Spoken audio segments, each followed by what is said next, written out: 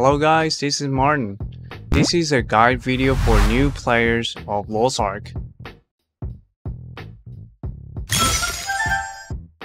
Contents of Lost Ark are cross-server. Auction House is cross-server. You can enjoy contents of Lost Ark with players in other servers. So if you play by yourself, then just pick any server you like. But if you want to play with your friend or join a particular guild, then you need to create in same server as your friend or the guild. Which class you need to create first is not important. Do not follow other players' recommendations, but just follow your heart. Whatever you like to play is the best class for you always. You don't need to worry about your class's low popularity because in Lost Ark, if you get enough gear score, engraving, and etc., then each of classes has their own strength. It is always the gear score, engraving, tripod, and configuration of the party, not matter of which class is yours. Again, pick any classes you like to play so you won't regret it. You can play prologue or you can skip it. Every profession has their own prologues. Every prologue takes about 2 hours to complete. After you complete or skip the prologue, you can choose your class. Check out the play video and play trial of classes and pick any class you want. After class selection, you'll start from level 10. Press P, you can check out your item level is 50.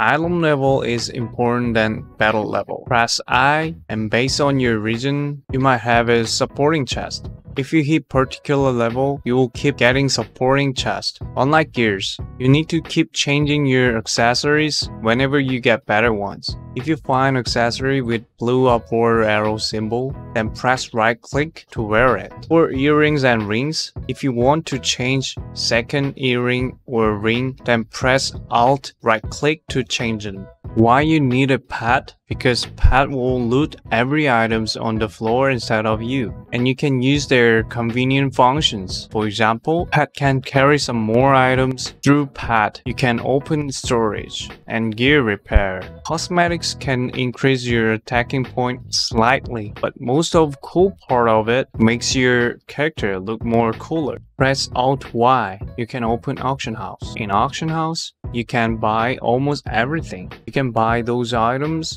with gold and pheons. Gold is main currency for auction house, and you must pay pheons for items which has trade limit.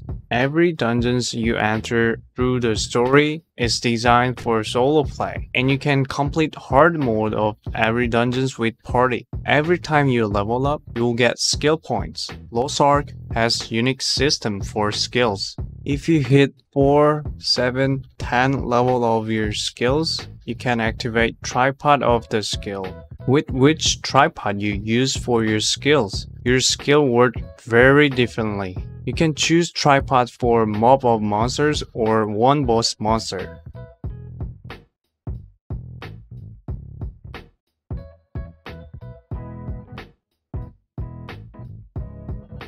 Especially skills with outstanding mobility tripod are helpful, so I recommend activate those tripod on your skills for complete dungeons and quests faster. And the spacebar is your mover skill, you can escape and skip monsters with it. Also when you're knocked down, press spacebar so you can get up. You can check out cooldown time of spacebar in the middle down of your screen.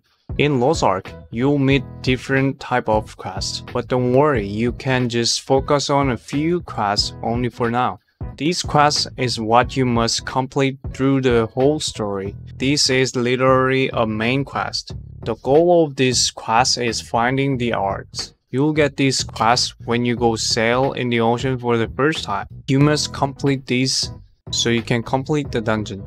So check out this quest whenever you enter the dungeon. This quest gives you good rewards, so you have to complete eventually. Almost every rewards from this quest are essential, so just complete them. It's not necessary to complete them all, but if you find any yellow quest with chain symbols, they usually give you good rewards like skill points. It's not necessary to complete them all as well. Almost every of these quests has same quest area as main quest. So if you have plenty time to enjoy the story, complete them too. Unlike other MMORPGs, you don't need to do leveling yourself, but just follow the story, you'll get level up. If you skipped every yellow and red quest until you get to Arthetine continent, you need to complete some of yellow quests until you hit 49.5 of that level.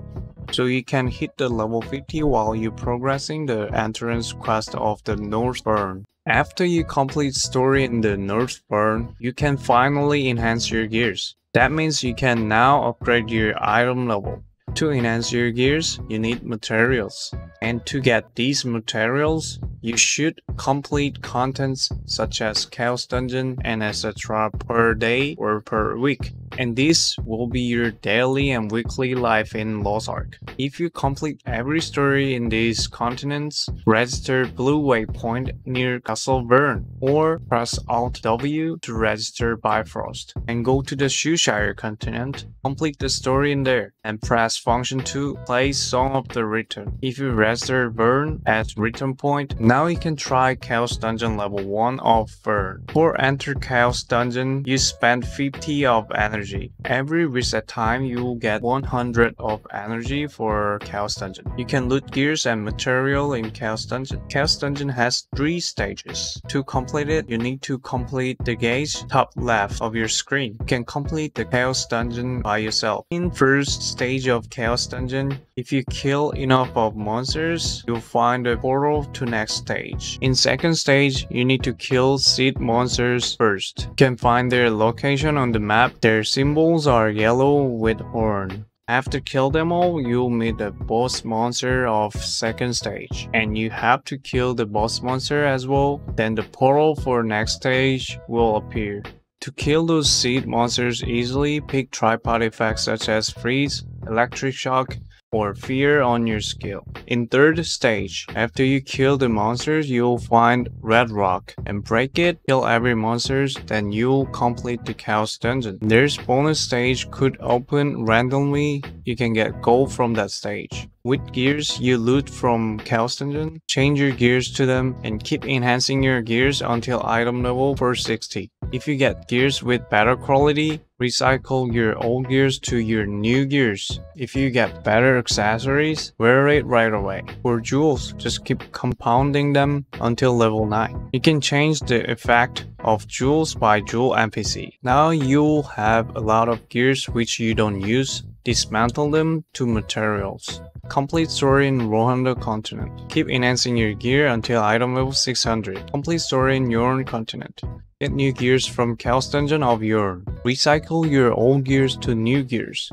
Keep enhancing your gear until item level 960. Complete story in Payton Continent. Keep enhancing your gear until item level 1100. Complete story in Papanica Continent. Get new gears from Chaos Dungeon of Papanica. Recycle your old gears to new gears. Now your item level is 1300. From item level 1300, keep enhancing all of your gears until plus 15. While you're enhancing your gears, you can enjoy Abyss Dungeons. Item level 1325 and 1340, you can enter new Abyss Dungeons. But before you try it, you must recycle all of your gears to new gears, where you can get them from 3rd level of Papanica's Chaos Dungeon. If you complete both of Abyss Dungeon, you can claim about 1400 gold. Also in Island of Grief, which is located south of Papanica, you can get a red skein. With red skein, you can trade it to legendary engraving books, which are expensive. Or other ways to get more gold in Lost Ark, you can check out them from this video.